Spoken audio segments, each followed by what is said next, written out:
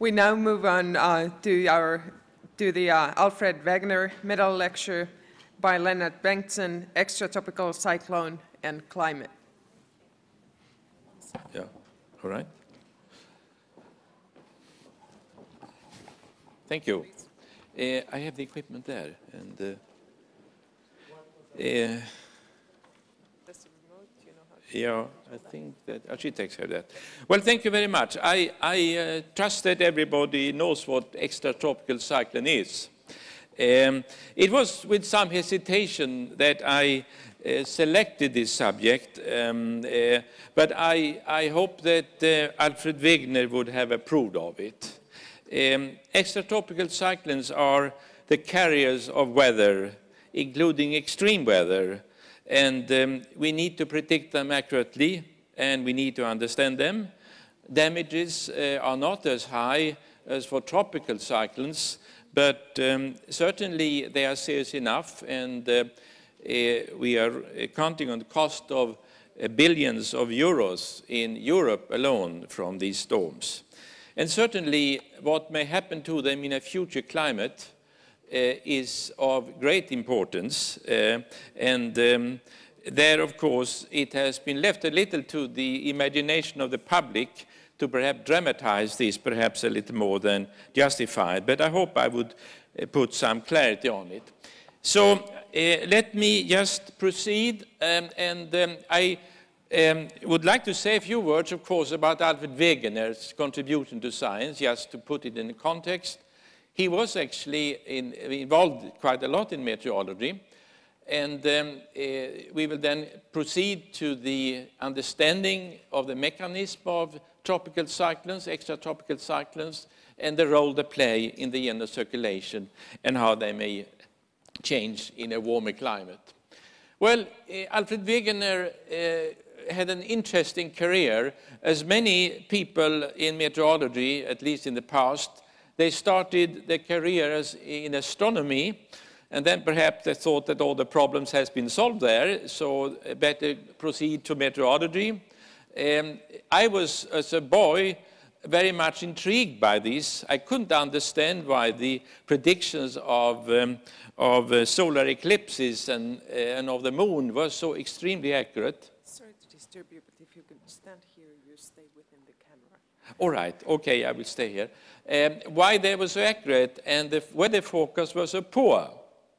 And um, uh, that was one of the reasons that I later very, get very much fascinated by weather. Anyhow, um, uh, his main contribution was, of course, the theory of continental drift, which uh, he uh, produced when he was about 30 years old or 32. He also uh, did a lot of interesting work on weather balloons he actually followed the weather in weather balloons and actually with his brother had a record. Uh, he also wrote a very famous textbook in, in thermodynamics, which in fact where he actually was the first to point out the mechanism for precipitation at high latitude, which is now known as the Bergeron-Findeisen theory. Uh, but they actually recognize a contribution by, by Wegener. And then, of course, he had several missions to Greenland, probably well as dramatic as those we just saw in the film uh, previously. That's the way he looked when he was young, and just when he has published his book about the um, uh, continental drift. And this is the way how it was received by the community. Um, Wegener um, uh, wrote to his wife, which was actually the daughter of Vladimir Köppen, who was professor in meteorology in Hamburg, uh, that he was very much intrigued by the fact that the coast of South America fitted so exactly against the west coast of Africa, and he had decided to pursue this. Well, this was interesting perhaps to have this in a love letter, but anyhow, that was the way Wegener was. And um, uh, of course, the um, geological experts um, were um, even more critical to Wegener, as some of them are to uh, uh, climate change today. Uh, the president of the American Philosophical Society didn't have very much over for Wegener. And uh, another US scientist, he said, if we start to believe this, we must forget everything we have learned in the last 70 years and start all over again. This is not bad to do that in science, of course. And the British geologist, he, uh, he, he, has concluded that anyone uh, who value his reputation for scientific sanity would never dare to support such a theory. So he had a very hard time. Um, anyhow, um, um, this is a good example to follow. Uh, uh, even uh, certainly the mechanism of extratropical cyclones has also been debated a lot, but uh, I think we have now quite a lot of clarity about the subject. Uh, they are, of course, very important to predict, uh, and perhaps the most important task for the meteorological services. They also play a very important function in the general circulation in transporting heat and water from low to high latitudes and they are also controlling the more slowly varying weather which we are associated, for example, with the call blocking. And um, certainly uh, we need, or we must understand this, uh, how this may uh, react in a, in, a, in a, future climate. Well, I just have quoted some fundamental papers here which covers a large span. I think Dove um, in his book Das Gesetz der Stürme, um, now goes back to uh, quite some time, 170 years, um, actually was the first to point it out that they were related to uh, air masses of different temperature. But he didn't really couple it specifically to any thermodynamic theory. That was actually done by Max Margules uh, now almost 100 years ago, who clearly indicated that this was something which was follows more the second law of thermodynamics, namely it was simply a mechanism whereby um, uh, energy, potential energy, was converted into kinetic energy. And Edward Lorenz in his very famous paper on available potential energy and the maintenance of circulation, he clarified this concept even more in detail.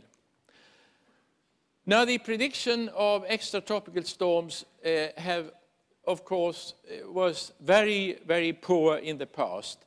And uh, it was actually a great frustration for the meteorological services because there were so many accidents. And in fact, the uh, uh, director at the time of the British Met Office um, uh, actually was said to be so depressed by this, Sir Fitzroy, um, that he actually committed suicide. And, but in fact, in recent decades, we have seen a major improvement. And in fact, I think I can say that it's been spearheaded partly by the European Centre in Reading, uh, and I think that um, it, it, it, has really improved quite a lot.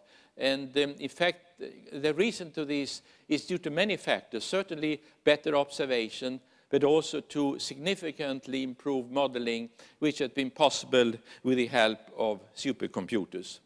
And here is one example uh, which goes back now some 20 years uh, from ECMWF. This is actually um, um, developing storm uh, well into the forecast, 84 hours, and uh, the uh, color of the arrows here indicated the temperature of the air masses. So here we have a very warm air mass, and here we have colder air, and um, the uh, um, intensity of the arrows, of course, indicate the wind speed.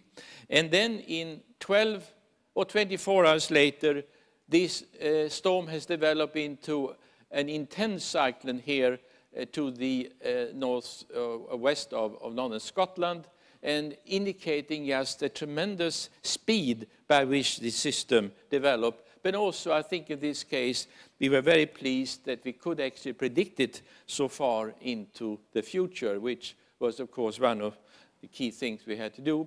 And here's another example just to indicate how these storms are actually organizing the weather pattern in a systematic way. And we can see here, for example, the, uh, the middle high clouds, uh, which are associated with rainfall. Uh, we see what is very typical, the clear air behind the front, and then the convective storms, the red areas here, which are developing behind the storm. So in fact, when this system develops, they organize the weather uh, as a function of the dynamics and thermodynamics of these storms. And this figure just illustrates the great importance of uh, resolution in the models, uh, how accurately we can do it. This is observation. This is this particular experiment, which was for its time rather unique. And this was more or less the situation which we had previously, uh, namely very coarse resolution models which were not able to reproduce these features and, and had rather large errors in the calculation because of aliasing problem.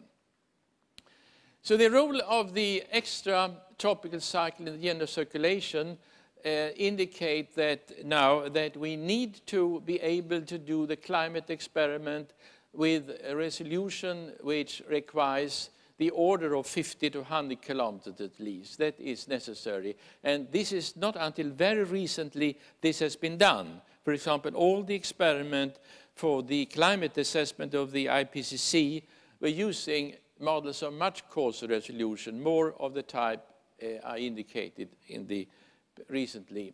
And, oh, sorry. Um, then the diagnostic um, uh, diagnosis of these storms has benefited very much from a Lagrangian tracking uh, feature technique which has developed uh, to a large extent by my closest colleague in Reading, um, Kevin Hodges. And in fact, many of the figures I will show will indicate uh, the strengths of these analyses in, in understanding um, the extratropical storms. And here we will now uh, simply um, use a, a, series of weather maps, six hours apart, covering 32 years. And in these we will identify the particular storms uh, simply using the vorticity as a measure. And that follows exactly very much Dove's idea from 1840, interesting enough. But of course, he couldn't do that very well with the lack of data and lack of methodology he has. And um, then I think that um, uh, this is a type of um, examples of how this uh, technique works. This is just now being applied on the Hurricane Katrina. And uh, the, it is the development of these storms for every six hours, and the color of these um, uh, dots indicates essentially the wind speed uh, which occurs at the time. So this is essentially a way of a dynamic way of following these storms. And this is now um, a, sort of a summary of what happens to uh, the winter climate uh, over 32 years in the present climate. And um, if I would have put up here uh, the name of uh, ERA 40 and ECHAM 5, you would hardly been able to say which of them is based upon observation and which is based upon a climate simulation. And in fact, this is a one which is a climate simulation, and this is based upon uh, 30 years or 32 years of observation. And these two curves here indicate areas where cyclones are being formed.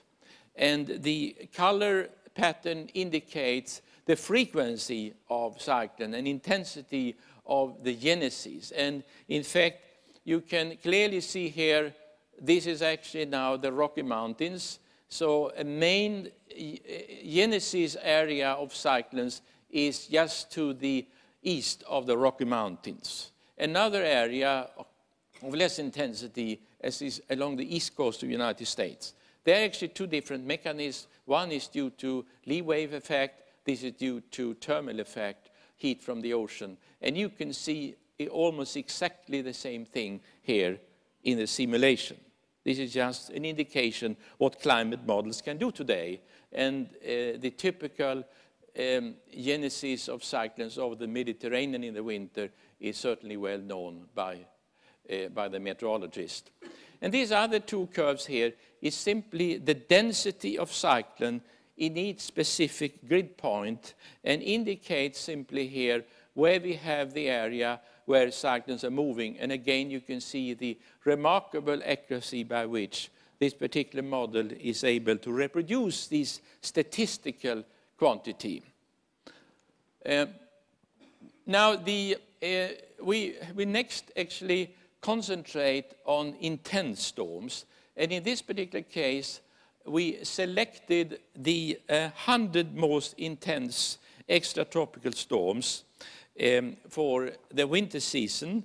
And um, uh, we uh, uh looked upon uh, both the vorticity, uh, we looked upon the total precipitation within five degrees of the center, equivalent to about one million square kilometers, and we also checked the uh, surface pressure minima and surface pressure tendencies. And this is an example of the, um, um, of the composite of 100 most intense storms. The first one, uh, two sets, indicates wind field um, and pressure. This is wind field. And, and the thickness of the pattern that is a thermal, which is the, the gradient here of the thermal field indicates a measure of the available energy.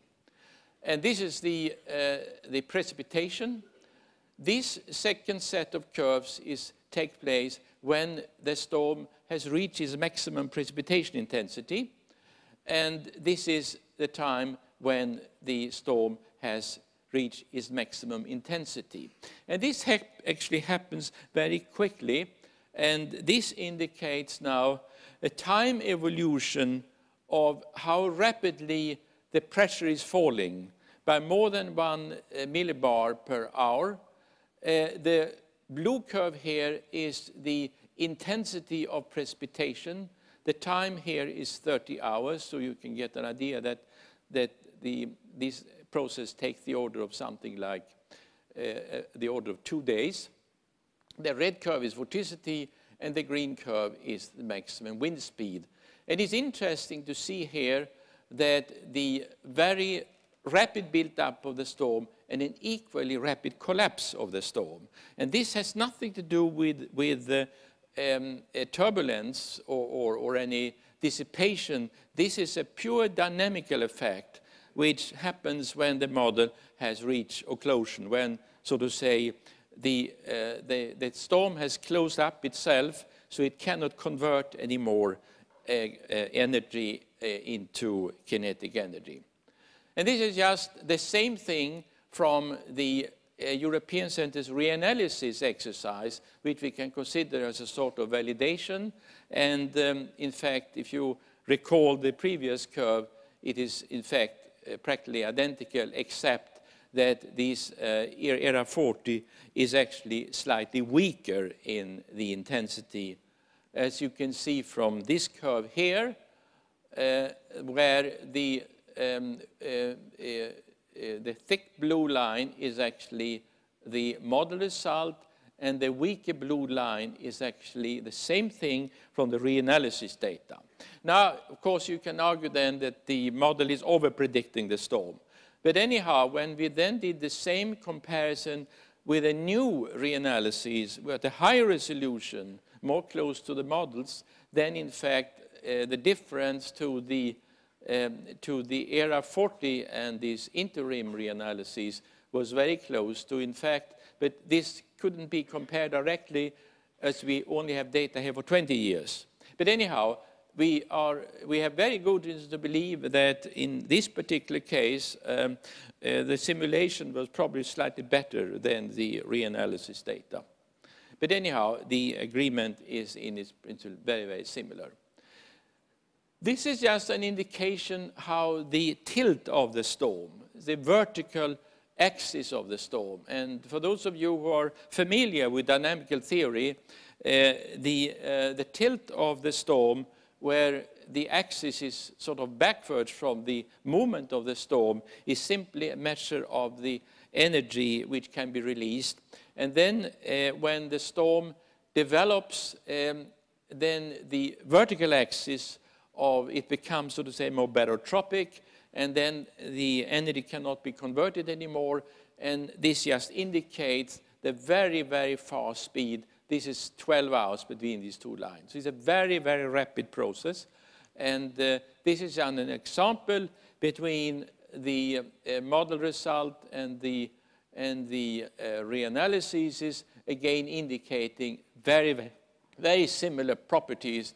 Again, an example of uh, that we, the models are doing a pretty realistic job here.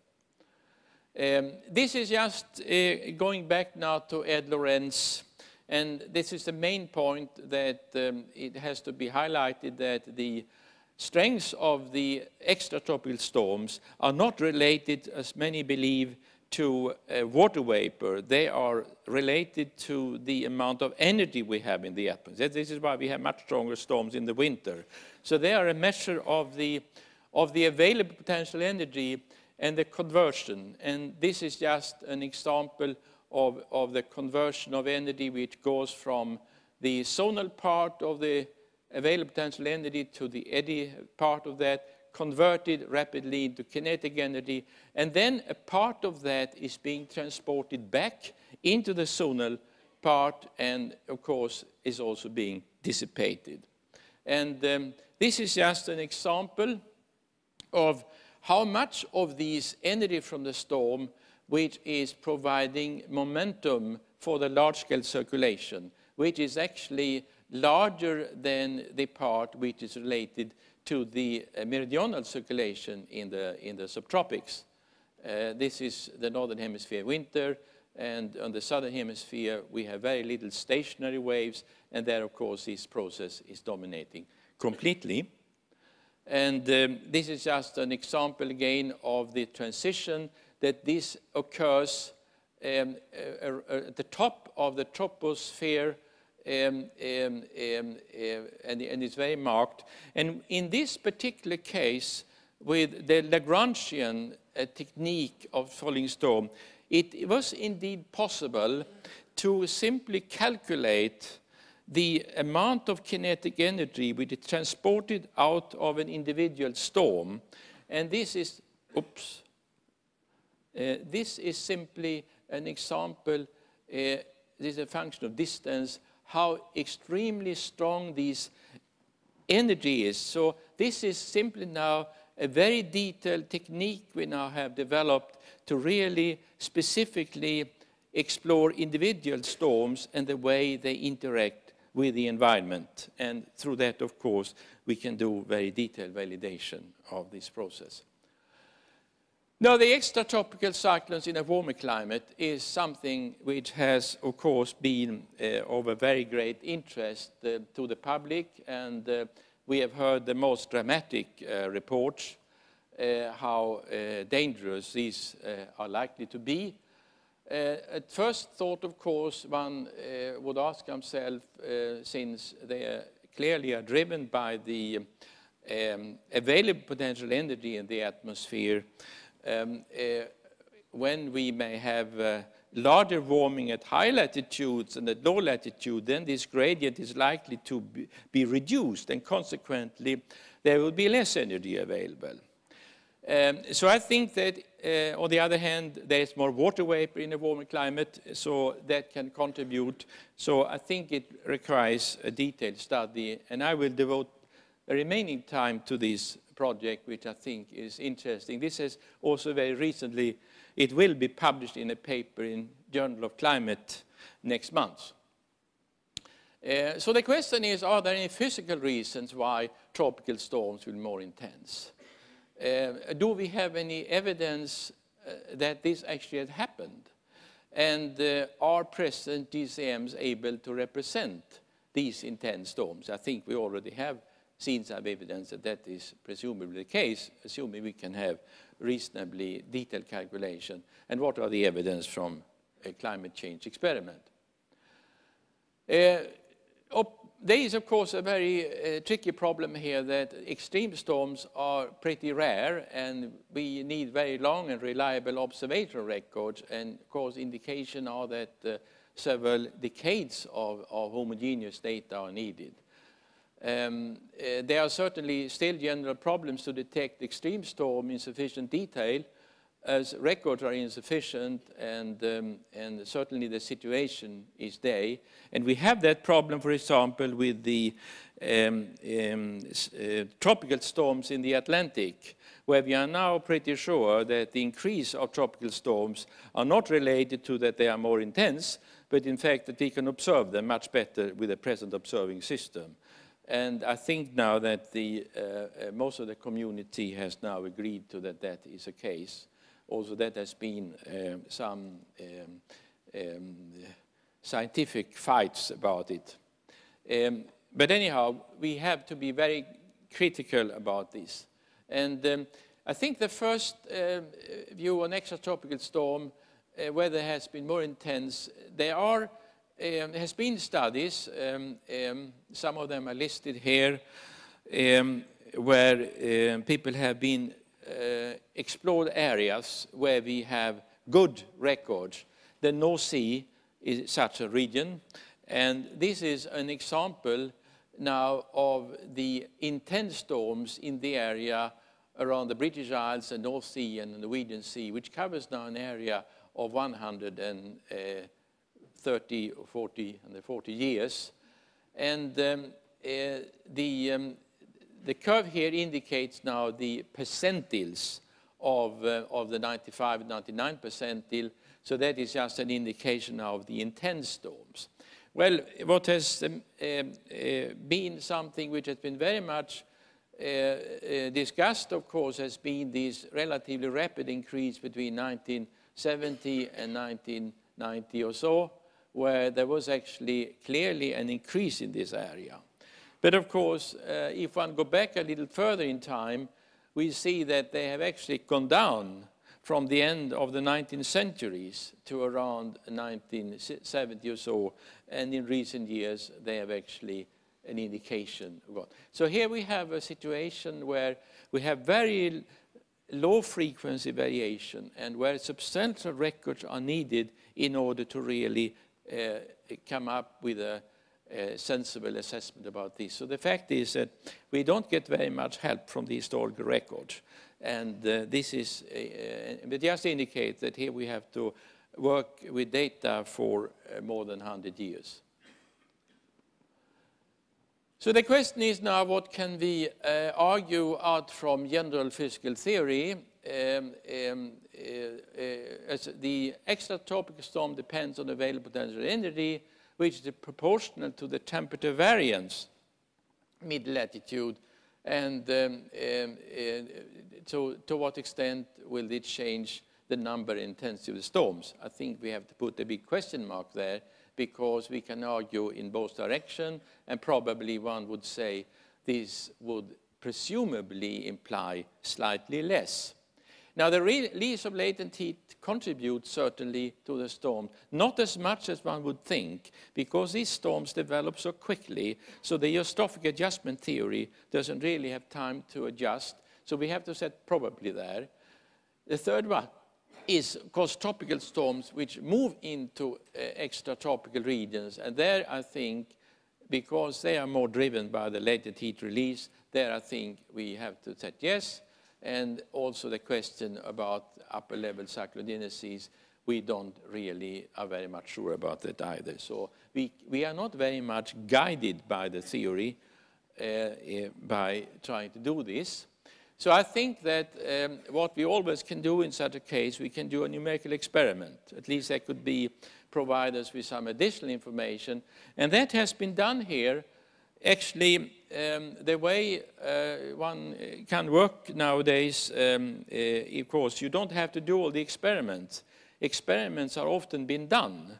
It's just to get access to the data and try to um, undertake some experiment. And here we were fortunate in Reading that we were provided data uh, uh, by the Hamburg uh, ECHAM 5 model which are run at um, very high resolution, equivalent about 50 kilometers global for, for both the present climate and uh, we also have here 32 years in the end of the present century, assuming then um, one of these IPCC scenarios, which is one of the middle one. And in fact, the technique has been identical to what I show you for the present climate. Now, this is just an example of, um, uh, of the storms in, in high latitude, and I have indicated here storms which are reaching 12 Beaufort, which of course must be considered as a very intense storm. And um, uh, uh, or everywhere where in these 32 winters we have had a storm uh, more than uh, 12 Beaufort, we have indicated uh, a dot, and the color of the dot indicate the intensity. And you see that um, the area to the south of Greenland is apparently where you shouldn't really go if you're afraid of intense extratropical storms, which I think most meteorologists are aware of. And, um, and uh, in fact, if we look upon the simulation uh, uh, some hundred years later, we see not very much of a difference. Uh, it seems to be more or less the uh, same number of spots, more or less distributed equally. So we have to look a little more. And this is again now uh, sort of a composite of uh, the storms in the present and in the future climate. And here we have drawn with a thick line where we have um, the um, um, future climate and with a background color here, that is what you have already seen, that is from the, what you call climate of the 20th century. And if we look upon the typical structural storms, at first instant they look very similar. Um, the only thing which stands out is that we have more precipitation uh, in these storms. But strangely enough, the maximum wind speed is slightly less. Uh, and the vorticity is about the same, and there is practically no significant difference between the deepening with the same speed, maybe I know a little deeper here, but that doesn't have any coupling to the wind speed. So in fact, at first approximation, uh, the changes in the conditions um, by increasing greenhouse gases and increasing the, the overall temperature doesn't seem to affect the properties of these storms in any particular way, and uh, uh, in, except for precipitation. And um, to summarize this, I think uh, looking upon the storms, we have an increase of the global precipitation by about 6%. Along the storm tracks, the precipitation increased by 11%, but of course in some parts there are very intense maximum precipitation, which I will come back to in a moment. So I think that to support this, uh, uh, we also undertook a study what we can call in the grid point space. We looked into every individual grid points. This is all previously has been the dynamical um, uh, system following the storms. And um, this is just an example which we have now taken the absolute extreme, that is the 99.9 percentile, that is every thousand case. This is the 1,000 or, or the, let's see now, that is the order of 20 storms, which, which included here, because it is about 20,000 storms in all these 32 winters. And that uh, indicates again these very strong winds around Greenland, but of course generally in the North Atlantic here, but uh, nothing particular. And if we then go to the situation for the future climate, it couldn't see very much of a difference. So we have to look upon the difference maps, which is absolute now really, the red indicate grid points where we are likely to have some intensification, and the blue indicates where we have uh, weakening storms. Totally uh, integrated over the whole area, there is practically no difference.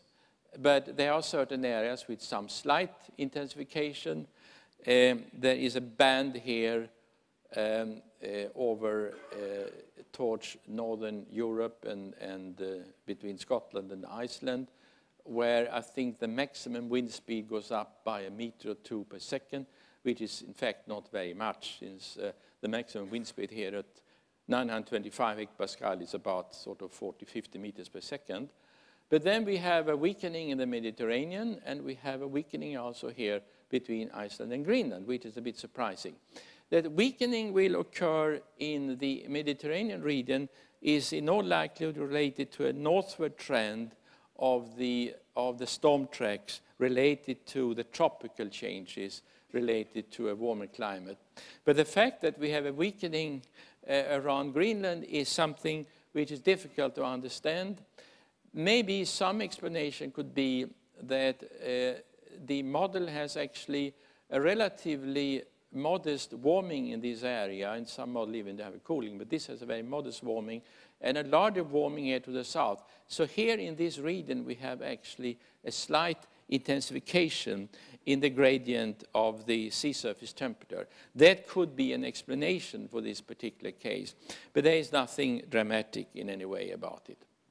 And if we then look upon different areas, uh, whether for, for different seasons, whether the storms will become more intense or less intense, then I've indicated by red when they are actually uh, are uh, higher intensity, sort of cases with more than 12 Beaufort, and it's essentially only in the winter time in the Arctic and in Northern Europe. In other areas is rather a weakening.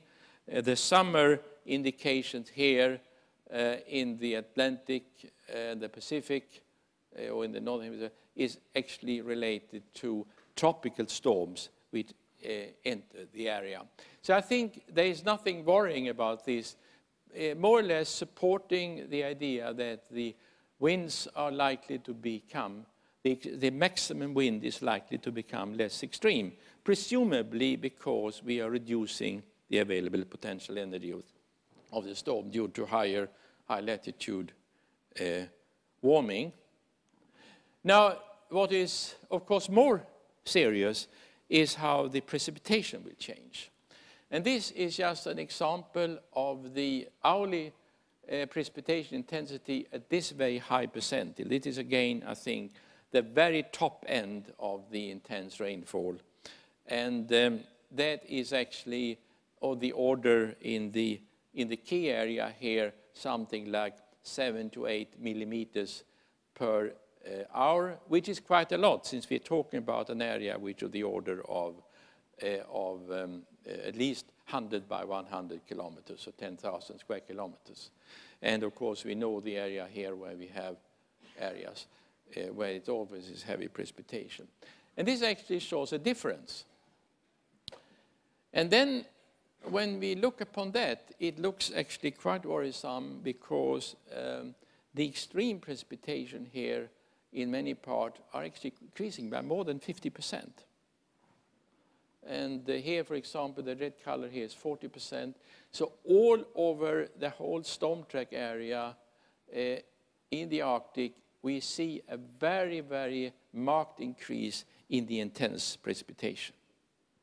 And that is something which follows clearly from theory and in the way the climate system responds to the um, hydrological cycle. Uh, the hydrological cycle responds to climate warming. But, but I cannot go too much into these details. Um, but, but, that is rather basic result. And um, if we look now upon a percentage increase in this high frequency precipitation, that is now, um, um if we take the mean for uh, the winter for the northern hemisphere extratropics is about 8 uh, millimeter, but if we take Southern Europe, there is a reduction of, of about 20% in the winter precipitation and an increase over Northern Europe by some 15%. If we then go to the summer, uh, we see a drastic decrease in the, in the Southern Europe of almost half the precipitation and some reduction also at Northern Europe is quite insignificant. Now, if we then now go to the 99 percentile, that is, oops, um, that is actually uh, um, sort of uh, the, the 100 most, or, or the, the 1% of the most intense storms, if you can put that way. Still, there is actually a reduction in Southern Europe, but now we have an increase here and if you go to the absolute maximum, which of course is not particularly representative, we see some increases even in Southern Europe. So I think there is um, rather um, marked change in the whole way the precipitation pattern is likely to operate and indicate, of course, this area where the storm tracks are changing position. So I think the problem is more so much any changes in the storm track themselves, but in the positions they are taking um, in, in, in, in the simulation, which is also uh, confirmed by uh, other model studies quite well. So in, in conclusion, I think that we can say there is an overall reduction in the number of extratropical storms. This covers virtually all season, and uh, the, um, uh, the, if we look upon the, uh, even the more intense storms, we see even there some reduction in the number. Um, the largest reduction in the most uh, intense storms uh, occur during winter and spring. Uh, there is some slight increase in summer, as I said, in, in most likelihood related to tropical cyclones which are entering the area being transformed into extratropical storms. Um, we also point out that's been done in some cases that it's quite misleading to use surface pressure as a proxy for wind speed because um, uh, that is um, too simple and in fact uh, one has to calculate the actual wind speed directly to really be sure about it. Um, there is a slight poleward movement of the cyclones, having the effect that the number of cyclones in Northern Europe and Arctic is practically unchanged. Uh, for the same reason, the number of cyclones in the Mediterranean region are proportionally reduced. This is something which I think is being supported by many other models and of course is included in IPCC. Uh, there is increase in the number of intense cyclones in the Arctic, but there is no clear tendency in Northern Europe there are some increase in the very intense storms, but not very much. Um, uh, the um, distribution of storms uh, as a function of maximum wind speed is similar in both ERA-40, but wind speed are systematically stronger in ECHAM5 that we have seen. And um, the, this particularly uh, regional intensification over uh, Western Europe, um, uh, we uh, suggest that this is related to this particular response of the sea surface temperature south of Greenland. Um, we see no indication of any effect of the high level of latent heat. General release of late, additional latent heat in the warmer climate appears to have little effect on the extreme extratropical cyclones, presumably because of the way precipitation are organized uh, in along frontal zones. And you don't have the time to simply convert it into wind because of the great speed by which they develop. So I think, in summary, the um, precipitation increase is probably the marked thing. Um, by 11%, the, uh, uh, in some areas, uh, we can even have more than 50%. So in conclusion that the extreme precipitation in a warmer climate we clearly fall outside the range of the present climate, while extreme winds are likely to fall within the range of the present climate. So this, I think, is the main conclusion from this particular study, which will now come in Journal of Climate in next month. Thank you.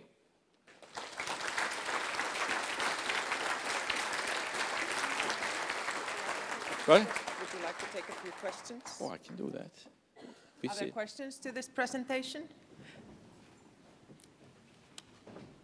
Yes, uh, uh, Eric Smith from NASA Goddard. Pierre Morel always used to, um, uh, I, is Pierre in the room?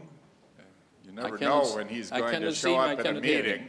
But uh, Pierre always used to counsel um, some distrust of any modeling experiment that concluded something about precipitation in which the mechanism of precipitation and the vertical circulation wasn't actually resolved.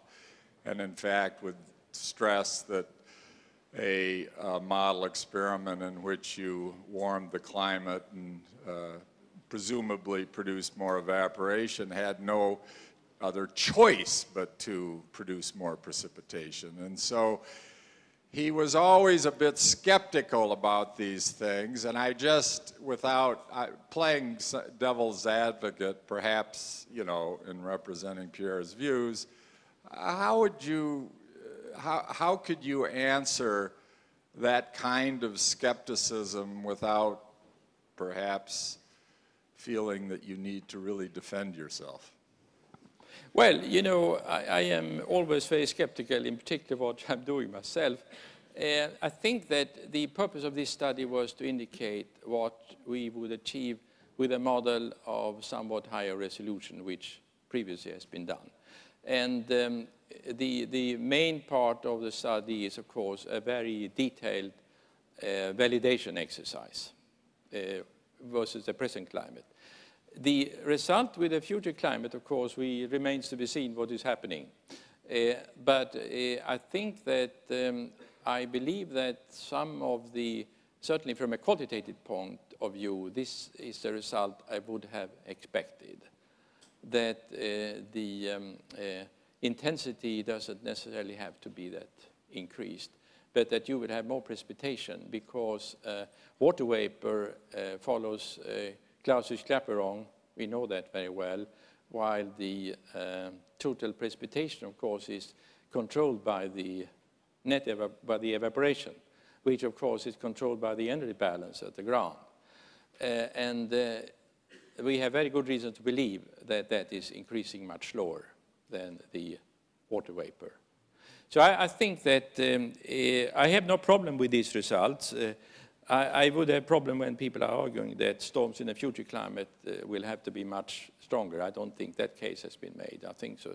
Here, I think I take from that point a somewhat cautious view, which is supported by this experiment at least. Other questions?